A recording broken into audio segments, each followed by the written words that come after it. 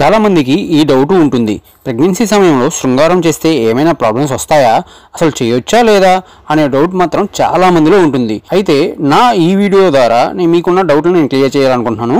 ఎవరైతే first time నా channel చూస్తున్నారో ఖచ్చితంగా సబ్స్క్రైబ్ చేసుకోండి. నచ్చితే లైక్ చేయండి షేర్ చేయండి. తప్పకుండా వీడియోని ఎండ్ వరకు చూడండి. అయితే వైద్య నిపుణులు మాత్రం వైద్యుల సలహా మేరకు చేయొచ్చని చెబుతున్నారండి. ఆ సమయంలో శృంగారం చేస్తే ఎన్నో ఆరోగ్య ప్రయోజనాలు ఉన్నాయంట. ఆ సమయంలో శృంగారం చేస్తే ఎన్నో ప్రయోజనాలు ఉన్నాయంటండి. శృంగారం చేయడం వల్ల ప్రైవేట్ పార్ట్స్లో రక్త ప్రసరణ మెరుగుపడి కండరాలు గట్టిపడి గర్భిణీగా ఉన్న సమయంలో ఫిట్గా చురుగ్గా ఉండేందుకు శృంగారం బెస్ట్ అని చెబుతున్నారండి. శృంగారం వల్ల భార్యాభర్తల మధ్య దూరం పెరగకుండా అనుబంధం మరింత బలపడుతుందని చెబుతున్నారు. అంతేకాకుండా ఎలాంటి రోగాలు కూడా దరి చేరవంటండి ముఖ్యంగా శృంగారం వల్ల శరీరంలో ఎండాఫిన్ అనే హార్మోన్ రిలీజ్ అయ్యి అధిక సంతోషం కలుగుతుందంట.